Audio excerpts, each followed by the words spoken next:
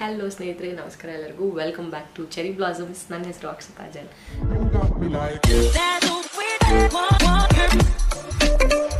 ಜನ ರಿಕ್ವೆಸ್ಟ್ ಮಾಡಿದ್ರಿ. ಸೊ ಅದಕ್ಕೋಸ್ಕರ ಈ ವಿಡಿಯೋ ಮಾಡ್ತಾ ಇದ್ದೀನಿ. ಏನಪ್ಪ ಅದು ಅಂತ ಅಂದರೆ, ಮಗು ಬ್ರೆಸ್ಟ್ ಮೇಲೆ ಕುಡಿತಾ ಇಲ್ಲ. ಸೊ ಏನು ಮಾಡ್ಬೋದು? ಏನಕ್ಕೆ ಕುಡಿತಾ ಇಲ್ಲ ಅನ್ನೋದು ದೊಡ್ಡ ಪ್ರಶ್ನೆ ಆಗಿರುತ್ತೆ. ಆಬ್ವಿಯಸ್ಲಿ ಸಿಕ್ಸ್ ಮಂತ್ಸ್ ಕೆಳಗೆ ಎಸ್ಪೆಷಲಿ ಎದೆ ಹಾಲು ಬರ್ತಿದ್ದು ಮಗು ಕುಡಿತಾ ಇಲ್ಲ. ಫಾರ್ಮುಲಾ ಮೇಲೆ ಕುಡಿಸ್ತಾ ಇದೀವಿ ಅಂದರೆ ಸಖತ್ ಬೇಜಾರಾಗುತ್ತೆ ಅದರಿಂದ. ಸೊ ಅದಕ್ಕೋಸ್ಕರ ನಿಮ್ಮೆಲ್ಲರಿಗೂ one ten two twelve tips ಹೇಳ್ತಾ ಇದ್ದೀನಿ ಇದರಲ್ಲಿ. ಹೇ, ಏನಕ್ಕೆ ಆ ರೀತಿ ಆಗುತ್ತೆ ಬೇಸಿಕಲಿ ಸೊ ಓವರ್ಕಮ್ ಹೇಗೆ ಮಾಡ್ಬೋದು? ನಾವು ಹೇಗೆ ಮಗುವನ್ನ ಬ್ರೆಸ್ಟ್ ಮೇಲೆ ಕುಡಿಯೋ ಥರ ಮಾಡ್ಬೋದು ಅನ್ನೋದನ್ನ ಈ ವಿಡಿಯೋಲಿ ತಿಳಿಸ್ಕೊಡ್ತೀನಿ. ಸೊ ವಿಡಿಯೋ ದಯವಿಟ್ಟು ಕಂಪ್ಲೀಟ್ ಆಗಿ ನೋಡಿ, ಎಲ್ಲ ಮಾಹಿತಿ ಕಂಪ್ಲೀಟ್ ಆಗಿ ಸಿಗತ್ತೆ ಅಂತ ಹೇಳ್ತೀನಿ. ಹಾಗೆ ನೀವ್ಯಾವ್ದು ಫಸ್ಟ್ ಟೈಮ್ ನನ್ನ ಚಾನಲ್ ನೋಡ್ತಿದ್ರೆ, ದಯವಿಟ್ಟು ಚಾನಲ್ಗೆ ಸಬ್ಸ್ಕ್ರೈಬ್ ಆಗಿ ಸಬ್ಸ್ಕ್ರೈಬ್ ಆಗೋದ್ರ ಜೊತೆ ಬೆಲ್ಲೈಕನ್ ಕೂಡ ಕ್ಲಿಕ್ ಮಾಡಿ. ಬೆಲ್ಲೈಕನ್ ಜಸ್ಟ್ ಒಂದೇ ಒಂದ್ಸತಿ ಕ್ಲಿಕ್ ಮಾಡಿದ್ರೆ ಸಾಕು. ನಾನು ಮುಂದೆ ಅಪ್ಲೋಡ್ ಮಾಡೋ ವಿಡಿಯೋ ನೋಟಿಫಿಕೇಶನ್ಸ್ ಎಲ್ಲ ಬರ್ತಾ ಹೋಗುತ್ತೆ. ಹಾಗೆ, ಈ ವಿಡಿಯೋ ಇಷ್ಟ ಆದರೆ ಲೈಕ್ ಮಾಡಿ ಶೇರ್ ಮಾಡಿ, ಹಾಗೂ ನಿಮ್ಮ ಅನಿಸಿಕೆ, ಅಭಿಪ್ರಾಯನ ಕಾಮೆಂಟ್ ಮುಖಾಂತರ ಬರುತ್ತೆ ತಿಳಿಸಿ. ಸೊ ಬನ್ನಿ ನೋಡೋಣ. ಹಾಗಾದ್ರೆ ಏನಕ್ಕೆ ಮಗು ಬ್ರೆಸ್ಟ್ ಮಿಲ್ಕ್ ಅಥವಾ ಎದೆ ಹಾಲನ್ನ ರೆಫ್ಯೂಸ್ ಮಾಡುತ್ತೆ ಅನ್ನೋದನ್ನ? ಇದೊಂಥರ ಸಖತ್ ಬೇಜಾರಾಗುತ್ತೆ. ಎದೆ ಹಾಲು ಬರ್ತಿದ್ದು ಮಗು ಹಾಲು ಕುಡಿತಾ ಇಲ್ಲ ರೆಫ್ಯೂಸ್ ಮಾಡ್ತಾ ಇದೆ ಬ್ರೆಸ್ಟ್ ಮಿಲ್ಕ್ ಕುಡಿಲಿಕ್ಕೆ ಅಂದ್ರೆ.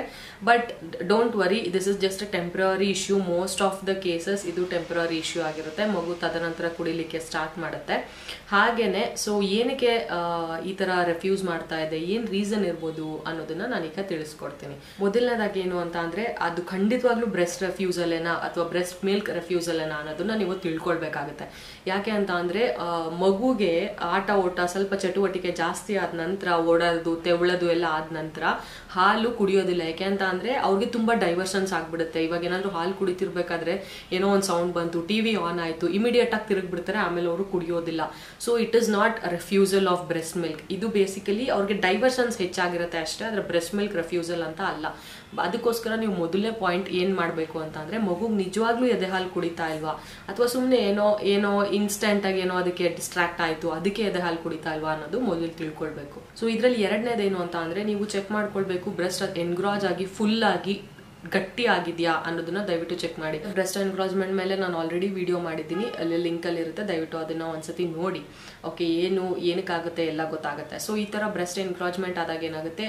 ಎದೆ ಭಾಗ ಗಟ್ಟಿಯಾಗಿ ಮೋಸ್ಟ್ ಆಫ್ ದ ಬ್ಲಾ ಡಕ್ಟ್ಸ್ ಒಳಗಡೆ ಏನಾಗಿರುತ್ತೆ? ಬ್ಲಾಕ್ ಆಗಿರುತ್ತೆ. ಈ ತರ ಆದಾಗ ಏನಾಗುತ್ತೆ? ಮಗು ಸಕ್ ಮಾಡಕ್ ಹೋದಾಗ ಹಾಲು ಬರ್ದಲೇ ಇರ್ಬೋದು. ಅಂದ್ರೆ ಅದಕ್ಕೆ ಹಾಲ್ ಬೇಡ ಅಂತ ಕೂಡ ಅನ್ಸಿರ್ಬೋದು. ಯು ನೆವರ್ ನೋ ಸೊ ಅದಕ್ಕೋಸ್ಕರ ಆ ತರ ಏನಾದರೂ ಬ್ಲಾಕ್ ಆಗಿದೆಯಾ? ನೋಡ್ಕೊಳ್ಬೇಕಾಗುತ್ತೆ. ಎದೆ ಏನಾದ್ರು ತುಂಬಾ ಗಟ್ಟಿಯಾಗಿ ಹಾಲು ಬರ್ದಲೇ ಇರೋ ಥರ ಏನಾದರೂ ಪ್ರಾಬ್ಲಮ್ ಆಗ್ತಿದ್ಯಾ ಅಂತ ಆ ತರ ಏನಾದರೂ ಆದ್ರೆ ಆದಷ್ಟು ಪಂಪ್ ಔಟ್ ಮಾಡಿ. ಯೂಶಲಿ ಇದೇನಾಗುತ್ತೆ ಅಂತ ಅಂದರೆ ಮಗು ತುಂಬಾ ಹೊತ್ತು ಹಾಲು ಕುಡಿದಲೆ ಹಾಗೆ ತಾಯಿ ಎದೆ ಹಾಲು ಉಳಿದಿರೋದ್ರಿಂದ ಅದು ಒಂಥರ ತುಂಬಾ ಜಾಸ್ತಿ ಫಿಲ್ ಆಗ್ಬಿಟ್ಟು ಆ ದಪ್ಪಕ್ಕೆ ಗಟ್ಟಿಗೆ ಆಗುತ್ತೆ. ಸೊ ಈ ಥರ ಆದಾಗ ಎಕ್ಸಸ್ ಮಿಲ್ಕ್ನ ಪಂಪ್ ಔಟ್ ಮಾಡಿ ಆ್ಯಂಡ್ ಲೈಕ್ ದಿನ ಕಳ್ದಂಗೆ ನಿಮ್ಮ ಮಗು ನೀಡ್ ತಕ್ಕನಂಗೆ ಬ್ರೆಸ್ಟ್ ಫೀಡ್ ಸಪ್ಲೈ ಆಗ್ತಾ ಹೋಗುತ್ತೆ.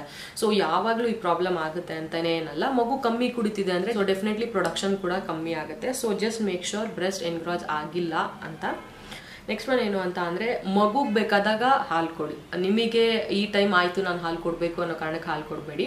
ಯೂಶಲಿ ಏನಾಗುತ್ತೆ ಅಂತ ಅಂದರೆ, ಹಾಲು ಬೇಕು ಅಥವಾ ಹೊಟ್ಟೆ ಹಸಿತಿದೆ ಆ ಟೈಮಲ್ಲಿ ಅಂತ ಅಂದರೆ ಡೆಫಿನೆಟ್ಲಿ ಅವರು ಸೈನ್ ಕೊಟ್ಟೆ ಕೊಡ್ತಾರೆ. ಎದೆ ಹತ್ರ ಬರೋದು ಅಥವಾ ಏನಾದರೂ ಅಮ್ಮ ಬೇಕು ಅಂತ ಅಳೋದು, ಆ ಥರ ಏನಾದರೂ ಮಾಡೇ ಮಾಡ್ತಾರೆ. ಸೊ ಆ ಸೈನ್ಗೋಸ್ಕರ ವೇಟ್ ಮಾಡಿ ನೀವೇ ಪದೇ ಪದೇ ಫೋರ್ಸ್ಫುಲಿ ಹಾಲು ಕುಡಿಸ್ಲಿಕ್ಕೆ ಹೋಗ್ಬಿಡಿ. ಈ ಥರ ಅವ್ರಾಗ ಅವರೇ ಬಂದಾಗ ಏನಾಗುತ್ತೆ? ಪ್ರಾಪರಾಗಿ ಕುಡಿತಾರೆ ಆ್ಯಂಡ್ ಎರಡೂ ಬ್ರೆಸ್ಸಲ್ಲಿ ಕುಡಿತಾರೆ. ಸೊ ಅದರಿಂದ ಏನಾಗುತ್ತೆ? ನಮಗೆ ಬ್ರೆಸ್ ಸ್ಯಾಗಿಂಗ್ ಆಗಿ ಅಥವಾ ಎನ್ಗ್ರಾಜ್ಮೆಂಟ್ ಆಗಲಿ ಆ ಥರ ಎಲ್ಲ ಆಗೋದಿಲ್ಲ.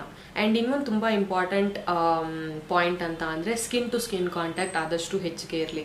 ಮಗು ಹುಟ್ಟಿದಾಗಿನಿಂದ ಕೂಡ ಇದು ಸಖತ್ ಇಂಪಾರ್ಟೆಂಟ್ ತಾಯಿ ಮಗುವಿನ ಆ ಬಾಂಡ್ ಏನಿರುತ್ತೆ? ಅದಿನ್ನ ಚೆನ್ನಾಗಿ ಆಗ್ಲಿಕ್ಕೆ ಹಾಗೂ ಎದೆ ಹಾಲು ಚೆನ್ನಾಗಿ ಇನ್ಕ್ರೀಸ್ ಆಗಲಿಕ್ಕೆ ಆ್ಯಂಡ್ ಮಗುವಿನ ಇಮ್ಯುನಿಟಿ ಬೆಳಿಲಿಕ್ಕೆ ಕೂಡ ತುಂಬಾ ಹೆಲ್ಪ್ ಆಗುತ್ತೆ. ಅದರಿಂದ ಹೆಚ್ಚು ಸ್ಕಿನ್ ಟು ಸ್ಕಿನ್ ಕಾಂಟ್ಯಾಕ್ಟ್ನ ಕೊಡ್ತಾ ಇರಿ. ಅಂಡ್ ಇನ್ನೊಂದು ರೀಸನ್ ಏನಿರ್ಬೋದು ಅಂತ ಅಂದರೆ ಹಾಲು ನಿಮಗೆ ಬರ್ದಲೇನೆ ಇರ್ಬೋದು. ಅಂತ ಅಂದರೆ ಎನಫ್ ಮಿಲ್ಕ್ ಬರ್ದಲೇ ಇರ್ಬೋದು ಮಗುಗೆ. ಇನಿಷಿಯಲಿ ಏನಾಗ್ತಿರುತ್ತೆ? ಫಸ್ಟ್ ತ್ರೀ ಮಂತ್ಸ್ ಕೆಲವೊಬ್ಬರಿಗೆ ಎದೆ ಹಾಲು ಚೆನ್ನಾಗಿ ಬರ್ತಾ ಇರುತ್ತೆ. ಆ ಟೈಮಲ್ಲಿ ಏನು ಅಷ್ಟೊಂದು ಪ್ರೆಷರ್ ಹಾಕೋ ಅವಶ್ಯಕತೆ ಇರಲ್ಲ ಮಗು. ಪ್ರೆಷರ್ ಇನ್ ದ ಸೆನ್ಸ್ ಮಗು ಅಷ್ಟು ಸಕ್ ಮಾಡಲಿಕ್ಕೆ ಅಷ್ಟು ಕಷ್ಟಪಡೋ ಅಥವಾ ಎನರ್ಜಿ ಇದು ಮಾಡ್ಕೊಳ್ಳೋ ಅವಶ್ಯಕತೆ ಇರಲ್ಲ. ಈಸಿ ಫ್ಲೋ ಇರುತ್ತೆ. ಬಟ್ ಕ್ರಮೇಣ ಏನಾಗುತ್ತೆ, ಕೆಲವೊಬ್ರಿಗೆ ಎದೆ ಹಾಲು ಕಮ್ಮಿ ಆಗಿರುತ್ತೆ. ಅದು ನಮಗೆ ಗೊತ್ತಾಗ್ದಲೆ ಮಗು ನಾವು ಹಾಲು ರಿಜೆಕ್ಟ್ ಮಾಡ್ತಿದೆ ಅಂತ ನಾವು ಅನ್ಕೊಳ್ತೀವಿ. ಸೊ ಅದಕ್ಕೋಸ್ಕರ ಇಂಥ ಟೈಮಲ್ಲಿ ಏನು ಮಾಡಿ, ಬ್ರೆಸ್ಟ್ ಪಂಪ್ನ ಯೂಸ್ ಮಾಡಿ, ಅಥವಾ ಕೈಯಲ್ಲೇ ನೀವು ಮಾಡ್ಕೊಳಕ್ಕೆ ಬಂದ್ರೆ ಆ ಥರ ಮಾಡಿ ಎಕ್ಸಸ್ ಮಿಲ್ಕ್ನ, ಪಂಪ್ ಔಟ್ ಮಾಡಿ ಮಿಲ್ಕ್ನ ಫಸ್ಟ್ ಆಫ್ ಆಲ್ ಎಷ್ಟು ಎಂ ಎಲ್ ಮಿಲ್ಕ್ ಬರ್ತಾ ಇದೆ, ಇದು ನನ್ನ ಮಗುಗೆ ಸಫಿಷಿಯಂಟಾ ಅನ್ನೋದನ್ನ ಮೊದಲು ನೋಡ್ಕೊಳ್ಳಿ. ಇದನ್ನ ನೀವು ಹೇಗೆ ಮಾಡ್ಬೋದು ಅಂದ್ರೆ ಟೂ ಅವರ್ಸ್ ಒನ್ಸ್ ಯೂಶಲಿ ಮಗು ಹೇಗೆ ಹಾಲು ಕುಡಿಯುತ್ತೆ ಅಲ್ಲ, ಅದೇ ರೀತಿ ಅಷ್ಟೇ ಸ್ಪ್ಯಾನ್ ಅಲ್ಲಿ ಎಕ್ಸ್ಪ್ರೆಸ್ ಮಾಡ್ತಾ ಹೋಗಿ. ಸೊ ಅವಾಗ ನಿಮಗೆ ಒಂದು ಐಡಿಯಾ ಬರುತ್ತೆ ಓಕೆ ನನಗೆ ಇಷ್ಟೇ ಹಾಲು ಬರ್ತಾ ಇದೆ, ಅದಕ್ಕೆ ಮಗು ಹಾಲು ಕುಡಿತಾ ಇಲ್ಲ. ಈ ಟೈಮಲ್ಲಿ ಏನಾಗುತ್ತೆ, ಮಗು ಸ್ವಲ್ಪ ಪ್ರೆಷರ್ ಬಿಟ್ಟು ಹಾಲು ಕುಡಿಬೇಕು ಅಂದಾಗ ಸುಸ್ತಾಗ್ಬಿಡುತ್ತೆ, ಮಗು ಅಲ್ಲಿಗೆ ಹಾಲು ಕುಡಿಯೋದು ನಿಲ್ಲಿಸ್ಬಿಡುತ್ತೆ. ಸೊ ಅದಕ್ಕೋಸ್ಕರ ಈ ಸೈನ್ ಕೂಡ ಗಮನದಲ್ಲಿ ಇಟ್ಕೊಳ್ಬೇಕಾಗುತ್ತೆ. ಆ್ಯಂಡ್ ಆಗ್ಲೇ ಹೇಳ್ದಂಗೆ ಮಗುಗಳು ತುಂಬ ಡಿಸ್ಟ್ರಾಕ್ಟ್ ಆಗಿರ್ಬೋದು, ಎಲ್ಲಾದರೂ ಹೊರಗಿನ ಸದ್ದು ಅಥವಾ ಟಿವಿ ಸದ್ದು, ಇನ್ನೊಂದು ಸಾಂಗು ಮೊಬೈಲು ಏನಾದ್ರಿಂದ ಡಿಸ್ಟ್ರಾಕ್ಟ್ ಆಗಿರ್ಬೋದು. ಸೊ ಅದರಿಂದ ಸ್ವಲ್ಪ ಕತ್ಲಿರೋ ಅಂತಹ ರೂಮಲ್ಲಿ ಯಾರು ಇಲ್ದಲೇ ಇರೋ ಅಂತಹ ರೂಮಲ್ಲಿ ಕೂತ್ಕೊಂಡು ಹಾಲು ಕುಡಿಸ್ಲಿಕ್ಕೆ ಟ್ರೈ ಮಾಡಿ. ಸ್ವಲ್ಪ ಸೈಲೆಂಟ್ ಆಗಿದ್ರೆ ಮಕ್ಕಳು ಕಾನ್ಸಂಟ್ರೇಟೆಡ್ ಆಗಿರ್ತಾರೆ ಅಂತ ಅಷ್ಟೇ. ಡಿಸ್ಟ್ರಾಕ್ಷನ್ಸ್ ಎಲ್ಲ ಜಾಸ್ತಿ ಇದ್ರೆ ಈ ತರ ರೆಫ್ಯೂಸ್ ಮಾಡೋ ಚಾನ್ಸಸ್ ಜಾಸ್ತಿ. ಈಗೆಲ್ಲ ಸಾಮಾನ್ಯವಾಗಿ ಏನಾಗುತ್ತೆ ಅಂತ ಅಂದ್ರೆ ದೇಹಾಲ್ ಜೊತೆ ಜೊತೆಗೇನೆ ಬಾಟಲ್ ಕೂಡ ಇಂಟ್ರಡ್ಯೂಸ್ ಮಾಡಿರ್ತೀವಿ so that can also be the reason ಅಕಸ್ಮಾತ್ ಎದೆ ಹಾಲನ್ನ ನಾವು ಪಂಪ್ ಮಾಡಿ ಬಾಟಲ್ ಅಲ್ಲಿ ಕೊಡ್ತಾರೆ ಮಗು ಬಾಟ್ಲೆ ಕಂಫರ್ಟ್ ಇರ್ಬೋದು ಎದೆ ಅದೇನ್ ತಪ್ಪು ಅಂತ ಕೂಡ ಹೇಳಲಿಕ್ಕೆ ಆಗೋದಿಲ್ಲ. ಸೊ ಅದಕ್ಕೋಸ್ಕರ ಮಗು ಬಾಟಲ್ ಫೀಡ್ಗೆ ಜಾಸ್ತಿ ಅಟ್ಯಾಚ್ ಆಗಿ ತಾಯಿ ಎದೆಹಾಲ್ ಎದೆ ಹಾಲು ಡೈರೆಕ್ಟ್ ಆಗಿ ಕುಡಿಯೋದು ಸ್ವಲ್ಪ ಕಮ್ಮಿ ಮಾಡಿರ್ಬೋದು. ಬಟ್ ಎದೆ ಹಾಲು ಹೋಗ್ತಿರೋದು ಇಂಪಾರ್ಟೆಂಟು ಅದು ಬ್ರೆಸ್ಟ್ ಫೀಡಲ್ಲೇ ಡೈರೆಕ್ಟಾಗಿ ಹೋಗ್ತಾ ಇದೆಯೋ ಅಥವಾ ಬಾಟಲಲ್ಲಿ ಕುಡಿತಿದೆಯೋ ಅಷ್ಟು ಇಂಪಾರ್ಟೆಂಟ್ ಆಗಲ್ಲ. ನಮ್ಗೆ ಏನು ನ್ಯೂಟ್ರಿಯನ್ಸ್ ಬೇಕು ಬೇಸಿಕಲಿ ಬೇಬಿಗೆ ಅದು ನಮ್ಮ ಎದೆ ಹಾಲಿನಿಂದ ಹೋಗ್ತಿದ್ರೆ ಸಾಕು. ಅದಕ್ಕೋಸ್ಕರ ನೀವು ಬೇಜಾರು ಮಾಡ್ಕೊಳ್ಳೋದು ಬೇಡ. ಎದೆ ಹಾಲು ಕುಡಿತಾ ಇಲ್ಲ ಹೇಗೋ ಅದನ್ನೇ ಪಂಪ್ ಔಟ್ ಮಾಡಿದ್ರೆ ಬಾಟ್ಲಲ್ಲಿ ಕುಡಿತಾ ಇದೆ ಅಂತ. Result is more important okay next one ಏನಂತ ಅಂದರೆ ಒನ್ ಸೈಡ್ ಮಗು ಹಾಲು ಕುಡಿತಿಲ್ಲ ಅಂತ ಅಂದರೆ ಇನ್ನೊಂದು ಬ್ರೆಸ್ಟ್ ಕೊಡಲಿಕ್ಕೆ ಟ್ರೈ ಮಾಡಿ. ಆ್ಯಂಡ್ ಬ್ರೆಸ್ಟ್ ಫೀಡಿಂಗಲ್ಲೇ ನಾಲ್ಕರಿಂದ ಐದು ಟೆಕ್ನಿಕ್ ಇದೆ. ಒಂದು ಫುಟ್ಬಾಲ್ ಇನ್ನೊಂದು ಲೆಫ್ಟ್ ಇನ್ನೊಂದು ರೈಟ್ ಆ ಥರ ಹಲವಾರು ಟೆಕ್ನಿಕ್ಸ್ ಇದೆ. ಸೊ ಅದನ್ನೆಲ್ಲ ನೋಡಿ ನಿಮ್ಮ ಮಗು ಯಾವ ಟೆಕ್ನಿಕ್ಗೆ ಚೆನ್ನಾಗಿ ಸೂಟ್ ಆಗ್ತಾ ಇದೆ? ಒನ್ ಟೆಕ್ನಿಕಲ್ ಕುಡಿತಿಲ್ಲಪ್ಪ ಇನ್ನೊಂದು ಟೆಕ್ನಿಕಲ್ ಕುಡಿದ್ರೆ ವೆಲ್ ಆ್ಯಂಡ್ ಗುಡ್ ಅಲ್ಲ ನಿಮಗೆ ಖುಷಿ ಆಗೇ ಆಗುತ್ತೆ. ಸೊ ಆದ್ದರಿಂದ ಹಲವಾರು ವಿಧಗಳನ್ನ ಟ್ರೈ ಮಾಡಿ. ಅದೇ ಬ್ರೆಸ್ಟ್ ಸೈಡಲ್ಲಿ ಯಾವತ್ತೂ ಫೀಡ್ ಮಾಡಲಿಕ್ಕೆ ಹೋಗಬೇಡಿ. ಎರಡೂ ಸೈಡ್ ಫೀಡ್ ಮಾಡಿ. ಆ್ಯಂಡ್ ಬೇರೆ ಬೇರೆ ಆಮ್, ಏನ್ ಹೇಳ್ತಾರೆ, ಬೇರೆ ಬೇರೆ ಆಯಾಮಗಳು ಟ್ರೈ ಮಾಡ್ಬೇಕಾಗತ್ತೆ. ಓಕೆ ಒಂದ್ಸತಿ ಈ ತರ ಎನ್ವೈರ್ಮೆಂಟಲ್ಲಿ ಸೆಟ್ ಆಗ್ತಿಲ್ಲ. ಓಕೆ ಅವ್ ನೀವಿಬ್ಬರೇ ಕುತ್ಕೊಂಡು, ಅಂದ್ರೆ ನಿಮ್ಮ ಹಾಗೂ ನಿಮ್ಮ ಮಗು ಇಬ್ಬರೇ ಕುತ್ಕೊಂಡು ಹಾಲು ಕುಡಿಸ್ಲಿಕ್ಕೆ ಟ್ರೈ ಮಾಡಿ, ಕುಡಿಬೋದೇನೋ? ಇಲ್ಲಾಂದ್ರೆ ಎಲ್ಲೋ ಒಂದು ಕುಡಿತಾ ಇಲ್ಲಪ್ಪ ಈಗ, ಅಂದ್ರೆ ಹೊರಗಡೆ ಒಂದು ವಾಕಿಂಗ್ ಕರ್ಕೊಂಡು ಹೋಗಿ ಬನ್ನಿ, ಆ ಕಡೆ ಈ ಕಡೆ ಡೈವರ್ಟ್ ಮಾಡಿ, ಆಮೇಲೆ ಕುಡಿಬೋದೇನೋ? So just keep try and ಇನ್ನೊಂದು ಬಹಳ ಮುಖ್ಯವಾದ ಅಂಶ ಅಂತ ಅಂದ್ರೆ ನೀವೇನಾದ್ರೂ ಹೊಸದಾಗೆ ಪರ್ಫ್ಯೂಮ್ ಹಾಕೊಳ್ತಾ ಇದ್ರೆ ಅಂಡ್ ಯಾವ್ದಾದ್ರು ಪೌಡರ್ ಯೂಸ್ ಮಾಡ್ತಿದ್ರೆ ಸೆಂಟೆಡ್ ಪೌಡರ್ ತರ, ಆ ಥರ ಏನಾದ್ರೂ ಯೂಸ್ ಮಾಡ್ತಿದ್ರೆ ಅದು ನಿಮ್ ಮಗುಗೆ ಇಷ್ಟ ಆಗಿಲ್ದಲೇ ಇರೋ ಕೂಡ ಚಾನ್ಸಸ್ ಹೆಚ್ಚು. ಇದು ಸಖತ್ ಆಗುತ್ತೆ ಯಾಕೆಂದ್ರೆ ತುಂಬಾ ಸ್ಮೆಲ್ಗೆ ತುಂಬ ಸೆನ್ಸಿಟಿವ್ ಇರ್ತಾರೆ ಮಕ್ಕಳು ಸೊ ಆದ್ರಿಂದ ಡಾಕ್ಟರ್ಸ್ ಹೇಳ್ತಾರೆ ಸಿಕ್ಸ್ ಮಂತ್ಸ್ ತನಕ ಪರ್ಫ್ಯೂಮ್ ಆಗಲಿ, ಆ ಥರ ಸ್ವಲ್ಪ ಫ್ರೇಗ್ರೆನ್ಸ್ ಐಟಮ್ಗಳನ್ನ ಜಾಸ್ತಿ ಉಪಯೋಗಿಸ್ಬೇಡಿ ಅಂತ.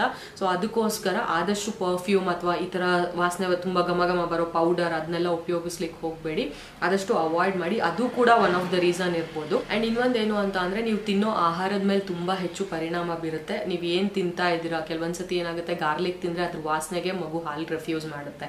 ಸೊ ಆ ಥರ ರೆಫ್ಯೂಸ್ ಮಾಡ್ತಿರ್ಬೇಕಾದ್ರೆ ನಿಮಗೆ ನೋಡ್ಕೊಳ್ಳಿ, ಏನು ತಿಂದೆ ನಾನು, ಏನಕ್ಕೆ ರೆಫ್ಯೂಸ್ ಮಾಡ್ತಾ ಇದೆ ಮಗು? ಸೊ ಇದು ತಿಂದಿದ್ದೀನಿ ಮೋಸ್ಟ್ಲಿ ಮಗುಗೆ ಇಷ್ಟ ಆಗ್ತಾ ಇಲ್ಲ ಅದರಿಂದ ಹಾಲು ಟೇಸ್ಟ್ ಚೇಂಜ್ ಆಗಿ ಏನಾಗುತ್ತೆ?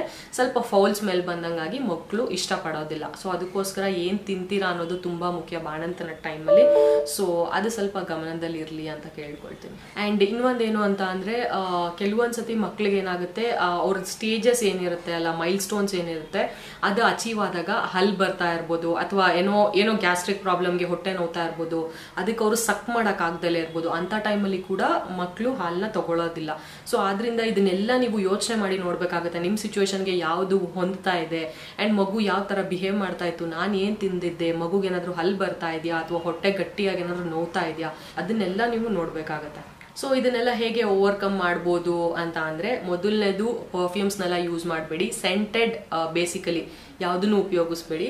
ಆ್ಯಂಡ್ ಮಕ್ಳಿದ್ದ ಮನೇಲಿ ಒಗ್ಗರಣೆ ಹಾಕಬಾರ್ದು ಅಂತಾರೆ, ಅದು ಇದೇ ಕಾರಣಕ್ಕೆ ಸ್ವಲ್ಪ ಹೋಲಿಕೆ ಆಗುತ್ತೆ ಅಂತಾನೆ ಹೇಳ್ಬೋದು. ಏಕೆಂತಂದ್ರೆ ಘಾಟ್ ಸ್ಮೆಲ್ ಮಕ್ಳಿಗೆ ಆಗೋದಿಲ್ಲ ಆ್ಯಂಡ್ ಕೆಮ್ ಬರ್ತಾ ಇರುತ್ತೆ, ಅವ್ರಿಗೇನೋ ಅನೀಸಿನೆಸ್ ಸ್ಟಾರ್ಟ್ ಆಗಿಬಿಡುತ್ತೆ ಬಾಡಿಲಿ. ಸೊ ಅದಕ್ಕೋಸ್ಕರ ಕೂಡ ಹಾಲು ರೆಫ್ಯೂಸ್ ಮಾಡ್ಬೋದು. ಆ್ಯಂಡ್ ಇನ್ನೊಂದೇನು ಅಂತ ಅಂದ್ರೆ ನೀವು ಹಾಗೂ ಮಗು ಇಬ್ಬರೇ ಇದ್ದಾಗ ಹಾಲು ಕುಡಿಸ್ಲಿಕ್ಕೆ ಟ್ರೈ ಮಾಡಿ, ಎಲ್ಲರ ಮುಂದೆ ಕುಡಿಸ್ಲಿಕ್ಕೆ ಹೋಗಬೇಡಿ. ಆ್ಯಂಡ್ ಡಿಸ್ಟ್ರಾಕ್ಷನ್ಸ್ ಇದ್ದಿದ್ದ ಜಾಗದಲ್ಲಿ ಬೇಸಿಕಲಿ ಕುಡಿಸ್ಲಿಕ್ಕೆ ಹೋಗಬೇಡಿ. ಡಿಸ್ಟ್ರಾಕ್ಟ್ ಆಗಿನೋ ಅಥವಾ ಯಾರೋ ಏನೋ ಮಾತಾಡ್ಸಿನೋ ಅದು ಹಾಲು ಕುಡಿಯೋದನ್ನ ಬಿಡ್ಬೋದು. ನೆಕ್ಸ್ಟ್ ಸೊಲ್ಯೂಷನ್ ಅಂತ ಅಂದರೆ ಬೇರೆ ಬೇರೆ ಆ್ಯಂಗಲ್ನಲ್ಲೇ ಕುಡಿಸಿ, ಬೇರೆ ಬೇರೆ ಟೆಕ್ನಿಕ್ ಇದೆ ಇದೆ ಹಾಲು ಕುಡಿಸ್ಲಿಕ್ಕೆ ಆಗಲೇ ಹೇಳ್ದಂಗೆ. ಸೊ ಎಲ್ಲ ಟೆಕ್ನಿಕಲ್ಲೂ ಒಂದ್ಸತಿ ಟ್ರೈ ಮಾಡಿ last one is never stop trying ಮಗು ಖಂಡಿತವಾಗ್ಲೂ ಕುಡ್ದೆ ಕುಡಿಯುತ್ತೆ. ಟ್ರೈ ಮಾಡೋದನ್ನ ನಿಲ್ಲಿಸ್ಬಿಡ್ಬೇಡಿ ನಾವೇನು ಮಾಡ್ತೀವಿ? ಒಂದು ಎರಡು ಮೂರು ದಿನ ಮಾಡ್ತೀವಿ. ಏ, ಹಾಲು ಕುಡಿತಾ ಇಲ್ಲ ಬಿಡು, ಹೋಗ್ಲಿ, ಇನ್ನೇನು ಮಾಡೋದು ಅಂತ ಡಾಕ್ಟರ್ ಹತ್ರ ಹೋಗ್ಬಿಡ್ತೀವಿ. But at least until one year ಅಲ್ಲ, ಇದನ್ನ ನೀವು ಟ್ರೈ ಮಾಡಲೇಬೇಕಾಗತ್ತೆ. ಆದಷ್ಟು ಎದೆ ಹಾಲು ಕುಡಿದ್ರೇ ತುಂಬ ಒಳ್ಳೆಯದು ಅದಾದ ನಂತರ ಆಬ್ವಿಯಸ್ಲಿ ಸಪ್ಲಿಮೆಂಟ್ಸ್ ನಾವು ಹಸುವಿನ ಹಾಲು, ಎಮ್ಮೆ ಹಾಲು, ಆ ಥರ ಏನಾದರೂ ಕೊಡ್ಬೋದು. ಬಟ್ ಅಂಟಿಲ್ ದಟ್ ಸ್ವಲ್ಪ ಟ್ರೈ ಮಾಡಿ ಎಲ್ಲ ಥರ ಮೆಥಡ್ಸ್ನ ಕೂಡ ಟ್ರೈ ಮಾಡಿ. ತೀರಾ ಆಗಲಿಲ್ಲ ಅಂದರೆ ಡೆಫಿನೆಟ್ಲಿ ಏನೂ ಮಾಡ್ಲಿಕ್ಕೆ ಆಗೋದಿಲ್ಲ ಬಟ್ ಡೆಫಿನೆಟ್ಲಿ ಇದರಲ್ಲಿ ಯಾವುದಾದ್ರೂ ಒಂದು ವರ್ಕೌಟ್ ಆಗೇ ಆಗುತ್ತೆ. ನೀವು ಕೂಡ ಯೋಚನೆ ಮಾಡಿ ನೋಡ್ಬೋದು, ಏನು ತಿಂದಿದ್ರಿ ಅಥವಾ ಏನು ಪರ್ಫ್ಯೂಮ್ ಹಾಕ್ಕೊಂಡಿದ್ದೆ ನಾನು ಅಥವಾ ಘಾಟ್ ಏನಾದರೂ ಆಗಿತ್ತಾ ಮನೇಲಿ? ಆ್ಯಂಡ್ ನನ್ನ ಬಾಡಿ ಏನು ಹೇಳ್ತಾರೆ, ನಮ್ಮ ಬಾಡಿ ವಾಸನೆ ಕೆಲವೊಂದು ಸತಿ ಮಕ್ಳಿಗೆ ಇಷ್ಟ ಆಗ್ದಲೇ ಇರ್ಬೋದು. ಅದಕ್ಕೆ ಕೂಡ ರಿಜೆಕ್ಟ್ ಮಾಡ್ತಾರೆ. ಮೋಸ್ಟ್ ಆಫ್ ದ ಮಕ್ಕಳು ಇದು ಮೇನ್ ರೀಸನ್ ಅಂತಲೇ ಹೇಳ್ಬೋದು. ಇದು ಮತ್ತೆ ತಿಂತಕ್ಕಂಥ ಆಹಾರ, ಆ ಸ್ಮೆಲ್ ಏನಿರುತ್ತೆ, ಅದು ಹಾಲಿನಲ್ಲಿ ಬೆರೆತು ಮಗುವಿಗೆ ಹೋದಾಗ ಆ ವಾಸನೆಗೂ ಕೂಡ ರಿಜೆಕ್ಟ್ ಮಾಡುತ್ತೆ. ಸೊ ಆದ್ರಿಂದ ಇದರಲ್ಲಿ ಯಾವುದು ಏನಕ್ಕೆ ರಿಜೆಕ್ಟ್ ಮಾಡ್ತಿದೆ ಅನ್ನೋ ಎಲ್ಲ ಥರದ ಸೊಲ್ಯೂಷನ್ಸ್ ಆ್ಯಂಡ್ ಟಿಪ್ಸ್ ನಿಮಗೆ ಕೊಟ್ಟಿದ್ದೀನಿ. ನಿಮಗೆ ಯಾವುದು ಸೂಟ್ ಆಗ್ತಿದೆ ಅಂತ ನೋಡಿಕೊಂಡು ನೀವು ಖಂಡಿತವಾಗ್ಲೂ ಟ್ರೈ ಮಾಡಿ ಮಗು ಕುಡ್ದೇ ಕುಡಿಯುತ್ತೆ. ಸೊ ಇದಿಷ್ಟು ಸಲ್ಯೂಷನ್ ಹಾಗೂ ಟಿಪ್ಸ್ ಏನು ನೀವು ಫಾಲೋ ಮಾಡ್ಬೋದು ಆ್ಯಂಡ್ ಹೇಗೆ ಓವರ್ಕಮ್ ಮಾಡ್ಬೋದು, ಮಗು ಬ್ರೆಸ್ಟ್ ಮಿಲ್ಕ್ನ ರೆಫ್ಯೂಸ್ ಮಾಡ್ತಿದ್ರೆ ಅನ್ನೋದು. ರೀಸೆಂಟಾಗಿ ಯಾರೋ ಒಬ್ರು ಕೇಳಿದ್ರಿ ನನಗೆ ಹೆಸರು ನೆನಪಿಲ್ಲ. ಈಗ ಆರು ತಿಂಗಳಾಗಿದೆ. ಈ ಒಂದು ತಿಂಗಳಿಂದ ಮಗು ಹಾಲು ಕುಡಿತಾ ಇಲ್ಲ ಅಂತ. ಸೊ ಆರು ತಿಂಗಳಾದ ನಂತರ ನಿಮ್ದು ಏನಾದರೂ ಡಯಟಲ್ಲಿ ಚೇಂಜ್ ಆಗಿದೆಯಾ ಅಂತ ಒಂದ್ಸತಿ ನೋಡ್ಕೊಳ್ಳಿ. ಬಾಣಂತಿ ಆಹಾರ ಏನು ಕೊಡ್ತಾ ಇದ್ರಿ? ಅದರಲ್ಲಿ ಏನಾದರೂ ಚೇಂಜ್ ಆಗಿದೆಯಾ? ಹೊರಗಡೆ ಫುಡ್ ಏನಾದರೂ ತೊಗೊಂಡಿದ್ದೀರಾ? ಅಂದರೆ ಮನೇಲಿ ಮಾಡಿರೋದಂತಲ್ಲ, ಹೊರಗಡೆ ಏನಾದರೂ ತಿಂದು ಬಂದಿದ್ದೀರಾ? ಆ್ಯಂಡ್ ಅದರಲ್ಲಿ ಏನಾದರೂ ಬೇರೆ ಥರ ಏನಾದರೂ ಮಿಕ್ಸ್ ಆಗಿತ್ತಾ? ಬೆಳ್ಳುಳ್ಳಿ, ಆ ಥರ ಎಲ್ಲ ವಾಸನೆ ಏನಾದರೂ ಬರೋದು ಮಿಕ್ಸ್ ಆಗಿತ್ತಾ? ಆ್ಯಂಡ್ ಪರ್ಫ್ಯೂಮ್ ಹಾಕ್ಕೊಳ್ತಾ ಇದ್ದೀರಾ? ಇದನ್ನೆಲ್ಲದನ್ನು ಯೋಚನೆ ಮಾಡಿ definitely will get your answer ಅಂತ ಹೇಳ್ತೀನಿ. ಸೊ ಹಾಗಾದರೆ ಈ ವಿಡಿಯೋ ನಿಮಗೆ ಇಷ್ಟ ಆಗಿದೆ ಅಂತ ಅಂದ್ಕೊಳ್ತೀನಿ ಇದರಿಂದ ಖಂಡಿತವಾಗ್ಲೂ ನಿಮಗೆ ಉಪಯೋಗ ಆಗುತ್ತೆ. ಸೊ ಈ ವಿಡಿಯೋಯಿಂದ ನಿಮಗೆ ಉಪಯೋಗ ಆಗಿ ಇಷ್ಟ ಆಗ್ತಾ ಇದ್ರೆ ದಯವಿಟ್ಟು give it a big thumbs up this is a kind of encouragement for me ನಂಗೆ ತುಂಬ ಖುಷಿ ಆಗುತ್ತೆ ಇನ್ನು ಹೆಚ್ಚು ಹೆಚ್ಚು ವಿಡಿಯೋ ಮಾಡಲಿಕ್ಕೆ. ಹಾಗೆ ನಾನು ನನ್ನ ನೆಕ್ಸ್ಟ್ ವಿಡಿಯೋಲಿ ಸಿಗ್ತೀನಿ. ಯಾರ್ಯಾರು ಸಬ್ಸ್ಕ್ರೈಬ್ ಆಗಿಲ್ಲೋ ಬೇಗ ಬೇಗ ಸಬ್ಸ್ಕ್ರೈಬ್ ಆಗಿ ಅಂತ ಕೇಳ್ಕೊಳ್ತಾ ಧನ್ಯವಾದಗಳು.